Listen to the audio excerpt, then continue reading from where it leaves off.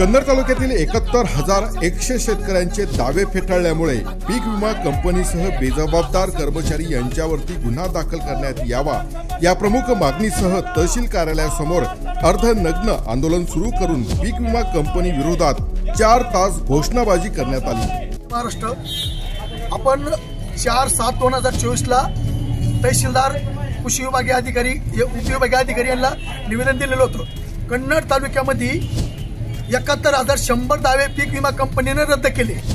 ते दावे तातडीनं मंजूर करून शेतकऱ्याला न्याय द्या. शेतकऱ्याच्या खात्यावर पैसे दे करा. आणि जे कंपनीने दावे रद्द केले जे त्याचे बेजबाबदार कर्मचारी त्यांच्यावर शेतकऱ्याचं नुकसान केल्या प्रकरणी गुन्हे दाखल करण्यात यावे. अशी मागणी आपण चार तारखेला प्रशासनाला निवेदन दिलेले आहे. परंतु शासनानं कुठली दखल न घेतल्यामुळं म्हणून आम्ही आज महाराष्ट्र नवनिर्माण सेनेच्या वतीने अर्धनंग आंदोलन कृषी कंपनी विरोध करीत आहे. आपली मागणी का जेव्हापर्यंत गुन्हे दाखल होते कंपनीवर आणि बेजबाबदार कर्मचाऱ्यावर तोवर आमचं आंदोलन थांबणार नाही. दुसरी मागणी शेतकऱ्याचे दावे तातडीनं मंजूर करा.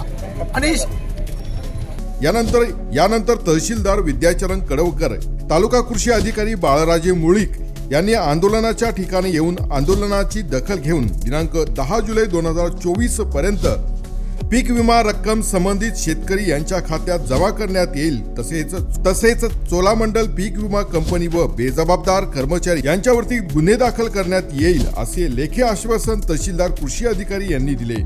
यावेळी महाराष्ट्र नवनिर्माण सेना तालुका अध्यक्ष अनिल शेळके पाटील शहर अध्यक्ष शशांक महादाने तालुका सचिव गोपाल सिंग राजपूत यासह पदाधिकारी मोठ्या संख्येने उपस्थित होते. शेतकऱ्याचे दावे रद्द करणाऱ्या कंपनी विरुद्ध गुन्हे दाखल. एकाहत्तर हजार शेतकऱ्याचे दावे रद्द करणाऱ्या कंपनी विरुद्ध गुन्हे दाखल. एकाहत्तर हजार शेतकऱ्याचे दावे मंजूर. एकाहत्तर हजार शेतकऱ्याचे दावे मंजूर.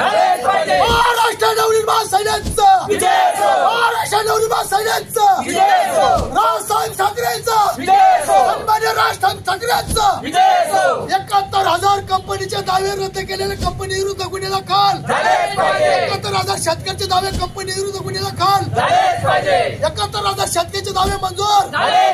एकाहत्तर हजार शेतकऱ्याचे दावे मंजूर. एकाहत्तर हजार शेतकऱ्याचे दावे मंजूर.